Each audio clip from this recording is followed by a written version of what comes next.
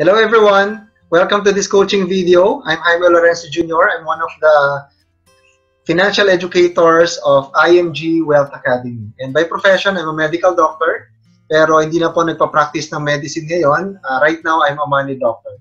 Dati, nung nagpa-practice ako ng medicine, sakit sa kalusugan ang ginagamot ko. Pero ngayon po ay sakit sa bulsa na. No? And sa coaching video na ito, ang share ko sa inyo is uh, one of my investment portfolio, one of my recommended uh, savings, investment, and protection program under Kaiser International, ang Ultimate Kaiser Health Builder. No? Pero bago natin i-discuss ito, i-discuss ko muna sa inyo yung mga fundamental concepts. Paano ba tayo yayaman at paano tayo mananatiling mayaman? Gusto mo ba ng financial peace? Yung tipong wala tayong iniisip na problema tungkol sa pera, kahit anong emergency, anong mangyari sa, anong crisis ang dumating sa buhay natin, eh nakatayo pa rin tayo. Gusto mo ba yon? I'm sure gusto nating lahat yan, di ba? Uh, simple lang po ang steps para natin uh, gawin ito simply build a solid financial foundation. Parang sa bahay po natin, kung tatanungin ko kayo, ano po ba sa tingin ninyo ang pinaka-importanting parte ng bahay natin? Ang bubong ba? Ang second floor? Ang sala? Ang kusina? Or ang pundasyon? Siyempre, alam po natin, ang pinaka-importante ay ang pundasyon kasi kahit na napakaganda ng bubong natin, napakaganda ng pintura ng bahay, napakaganda ng kusina, world-class yung mga furnitures, mahal yung structure, pero kung walang pundasyon yung bahay natin, konting lindol, konting bagyo, pwede mag-collapse po ang bahay natin. Now, ganun din po in our financial house. We need to build it solidly. We need to build it strong. Ang pinakabubong ng ating financial house is investment. Investment, kasi kabilang dito yung mga investments natin sa mutual funds, stock market, real estate, para ma-achieve natin yung mga financial goals natin para sa pamilya. For example, retirement, college education ng mga bata, dream travel, dream home. Investment, ito yung tinatawag na money working for us. Kung wala kang balak magtrabaho habang buhay, then we need to have investment. Pero, hindi tayo pwedeng tumodo sa investment kung wala tayong sapat na emergency fund. Emergency fund po is equivalent to 3 to 6 months of our monthly income. Halimbawa po, kumikita ako ng 20,000 sa isang buwan, times 3 to 6 months, minimum dapat meron akong 60,000 pesos emergency fund. Three months equivalent para, for example, na nawalan ako ng trabaho, nag-slow down ang negosyo, may nasira sa bahay, or may nasira sa sakyan, or humingi ng tulong sa pamilya, meron tayong panghuhugutan, or kung nawalan ka ng trabaho, you can survive for 3 to 6 months, uh, makapaghanap ka ng other source of income na hindi mo kailangan i-withdraw ang investment or hindi mo kailangan mangutang. Then kung may utang naman po tayo, dapat bayaran natin yung mga utang natin as soon as possible. Okay, lalo na po yung mga high interest debts gaya ng credit cards, mga personal loans, no? Kasi kung hindi natin bayaran 'yan, eh di hamak na mas malaki ang interest ng utang, especially credit cards compared sa ating investment. Now, the real foundation in building wealth is protection in the form of life insurance and health care. Protection po or life insurance napaka-importante po nito, especially kung breadwinner po tayo. Okay? Para pagka may nangyari sa atin, the family will receive uh, a big lump sum para sa mga uh, pangangailangan nila. No? Healthcare, may dalawang klase po ng healthcare.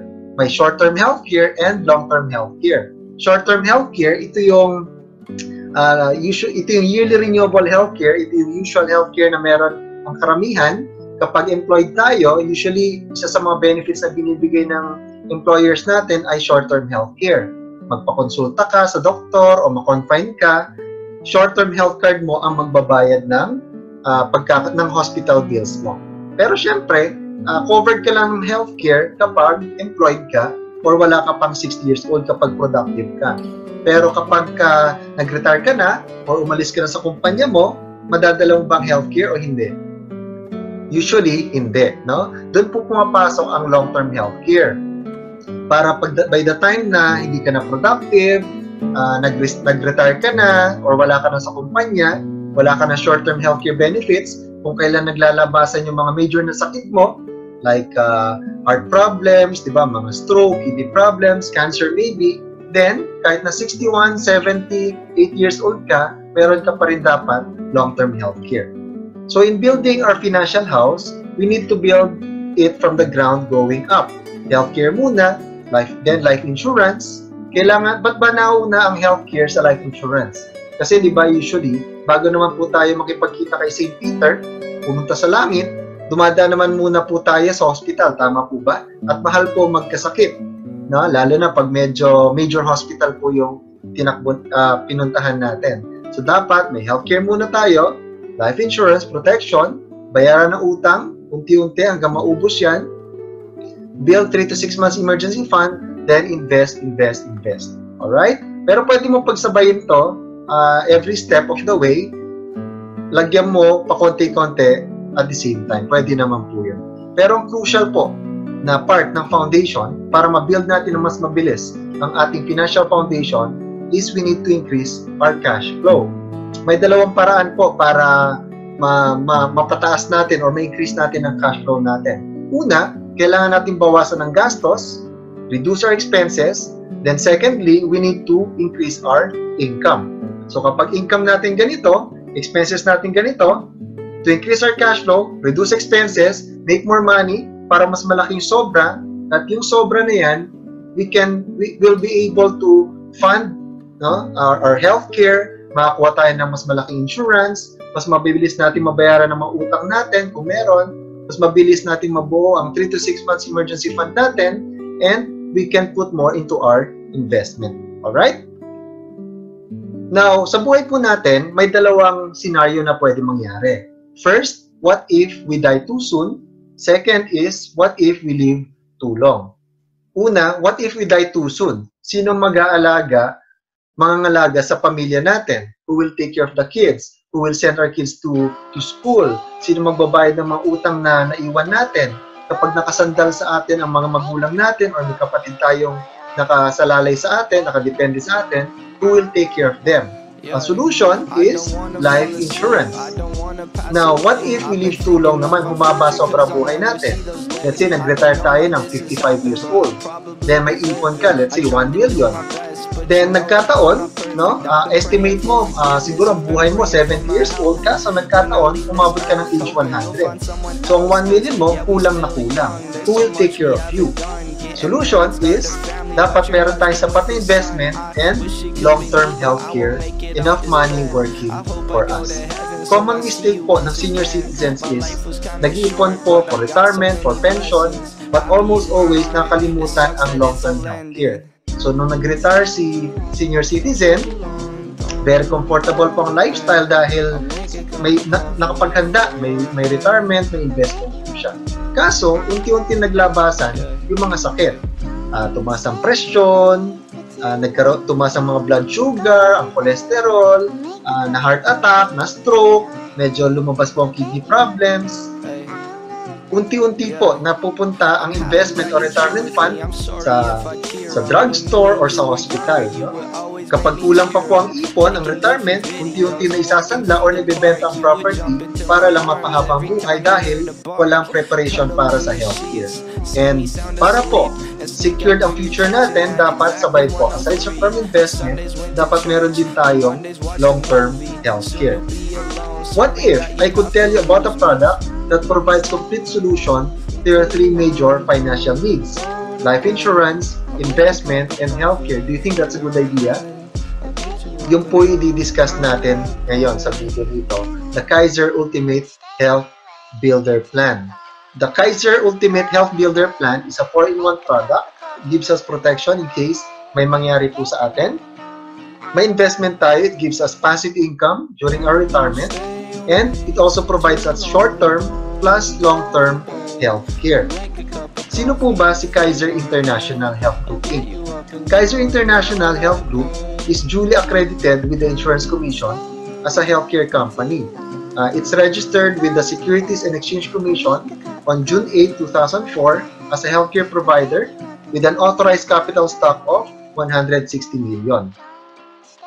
Kaiser's board of directors are seasoned experts in the medical field services and in the healthcare industry with its medical director, Dr. Leia Yolo. ang Kaiser Ultimate Health Builder uh, is the first long-term healthcare in the Philippines. Ang design nito ay 720. Ibig sabihin, 7 years lang tayo mag-iipon, mag invest After 7 years, wala na tayong isipin. The plan matures at the end of the 20th year. Aside from being a future source of retirement fund or passive income, long-term care provides us health care during retirement, a much-needed care when we get old. Example, to illustration po natin, K100 plan. Gaya na sabi po natin kanina, 7 years lang po tayo mag-iipon. Dito sa plan K100, kaya po sinabing K100 because the long-term care benefit of this plan is 100,000 pesos. Mamaya po ipapaliwanag ko yan. Sa K100 plan, the annual installment is 58,821. We save for 7 years, so the total contract price is 411,750. Yan po yung total inipon natin during the first 7 years. Now, ano ba yung mga benefits during the first 7 years habang naguhulog po tayo? Number one, annual physical examination benefits. Taon-taon, for the first 7 years, libre po yung annual physical exam natin which includes physical exam ng doctor, chest x-ray, CBC sa dugo, urine test, and fecalysis. No? Kapag uh, 35 and above tayo, taon-taon, libre din po ang ECG plus pap smear sa mga babae. Libre po yon. Number two, dental benefits. Every year for 7 years, libre din po ang bunot, ang linis, filling, libre po yon taon-taon. Meron din po itong tinatawag na waiver of installment due to death and disability. For example, si Juan de la Cruz, naka 2 years pa lang siya naguhulog, then, after paying the second year installment, namatay po si Juan de la Cruz. Ibig sabihin na waiver of installment due to death and disability, yung payments from third year to seventh year, waive na po. Hindi na babayaran ng kanyang pamilya. That's the first insurance benefit. Then, ito pong policy natin, insured tayo for the next 20 years. Meron itong term life insurance for 20 years, plus accidental death and dismemberment for 20 years din. Example, namatay si Juan on the second year. Term insurance of this policy sa K100 is equivalent to the long-term care benefit plus to the long-term care bonus. Long-term care benefit is 100,000 plus the bonus 350,000. So ang total term insurance po is 450,000 pesos. Now, what if aksidente po yung ikinamatay? Doble, dadagdag additional 450,000 for a total of 900,000 pesos. Now, ulitin po natin. Death occurred on the second year. First, waive po yung installment from third year to seventh year. Secondly, makatanggap po na insurance money, 450,000 to 900,000 ang pamilya ni Juan de la Cruz. Plus, malilipat ang policy na nakapangalan kay Juan, malilipat sa kanyang principal beneficiary. So, sa pamilya na, sa beneficiary na, ang policy nito. Lahat ng healthcare benefits, lahat ng investment benefits as is, lipat sa pamilya. Yun po yung multiple insurance benefits ng Kaiser Ultimate Health Builder natin. Alright? Now, in case, kailangan natin ma-hospital or ma-confine during the first seven years, meron tayong budget dito or annual benefit limit na 60,000 pesos taon-taon for confinement. Just in case na wala kang confinement sa first seven years, guaranteed 85% ng inihulog natin will be given back to us upon maturity sa 20th year. Mamaya explain ko po yan. Itong Kaiser Long-Term Healthcare natin, may benefit din na tinatawag na Family Assistance Service. Ibig sabihin, kapag may na-confine or kailangan ma-confine sa immediate family mo, pwede mo ipahiram ang Kaiser policy mo. Ito po yung mga terms and conditions. Policy should be in active status and plan should have completed at least one year payment. The nominated patient must be an immediate family member of the policyholder or within the first degree of consanguinity. Policyholder agrees to avail only of the services of Kaiser's accredited doctors and affiliated network of hospitals. Assistance to be provided by Kaiser shall only be to the extent of the allowable benefits due to the plan holder under his policy. Prior to discharge of the nominated patient, payment should have been settled to Kaiser. Kaiser's approval of to avail of such assistance must first be obtained by the member and the issue, issuance of LOA will then be given. Please note that this assistance is an accommodation and not considered a benefit of the plan. Hence, approval and denial on the ailment solely depends on Kaiser management evaluation. After 7 years, so fully paid na po tayo, starting on the 8th year up to the 20th year, guaranteed yung 100,000 long-term care benefit natin earns 10% from 8th year up to the 20th year. 10% of 100,000 is 10,000 pesos every year. Taon-taon po yan up to the 20th year. Ito total po natin yan, 10,000 times 13 years, that's 130,000 pesos. But, itong pondo po na ito, kapag hindi natin nagagamit for any medical availment, it earns additional interest, nag-accumulate po yan, nagko-compound. Let's say wala tayong gamit from 8th year to the 20th year, total accumulated health benefits natin is 269,700. Itong amount po na ito will depend sa paggamit natin from 8th year to the 20th year.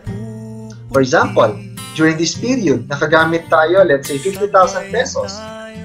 So, mababawasan lang din tong amount na ito depending kung magkano lang yung nagamit mo. Then, meron din siyang additional yearly health bonus. From the second year of our plan up to the 20th year, tuloy-tuloy pong kumikita ng dividend or earnings from the stock market ang Kaiser investment natin. For example, on the 8th year, ang, ang, ang accumulated amount na yearly health bonus na dyan ay 32,000. Tuloy-tuloy na lumalago. Sa dulo, kung hindi natin nagamit, total of 446,000 pesos. So the yearly health benefits plus the yearly health bonus ay pwede natin magamit for any medical availment from the 8th year to the 20th year. For example, on the 10th year, dun mo kailangan gamitin, ang available fund mo na dyan is about 64,000 pesos. Now, yung long-term care benefit, fixed po ito, 100,000 pesos. Ubusin man natin ang plan natin, i-maximize natin ang plan natin, from year 1 to year 20, ang long-term care benefit na 100,000 is fixed po, hindi po pwedeng mabawasan yan. It's guaranteed. Plus, the long-term care bonus, kapag wala po tayong confinement, during the first 7 years, ang ginamit lang po natin is the annual physical exam plus the dental benefits but no confinement during the first 7 years, guaranteed 85% ng ibinayad natin, 350,000 ibabalik po sa atin. Kapag tinotal po itong apat na to, that's a total maturity value at the end of 20th year, 1.1 million pesos. Ang maganda po dito, during the extended period ng policy natin, from 8th year onwards, pre-existing illnesses are already covered. Kahit na dati mo na sakit, pwede mong gamitin ito. Now, ano ba yung options natin kapag nag-mature yung policy natin? Sa 1.1 million na maturity benefit natin, we have three options. First, pwede nating i-withdraw buong buo. Pero parang sa banko, pag winidraw mo na lahat ng pera mo, closed account na po yan. And moving forward, wala na tayong healthcare benefits na pwedeng gamitin in case magkasakit tayo. That's the first option. Second option, pwedeng partial withdrawal. Let's say out of 1 million pesos, nag-withdraw ka ng kalahati, about 500,000 pesos, yung iniwan mong 600,000 pesos continues to grow, continues to accumulate as investment, and anytime you need it, pwede mong gamitin for healthcare kahit saan ka pa ma-admit, sa St. Luke, sa Makati Med, pwede mong gamitin. Kaiser Hospital pa rin ang mag-uusap. Or third, sa example natin, na 22 years old nag-start, after 20 years, 42 years old, sabi ni Juan de la Cruz, bata pa ako, malakas pa ako kumita, wala pa akong mga sakit, or covered pa ako ng short-term healthcare ko sa kumpanya ko. No? Iwanan ko lang yung 1.1 million ko dyan. At pwede gusto kong uh, kunin ang interest taon-taon. Let's say ang 10% taon-taon ay 10% per annum.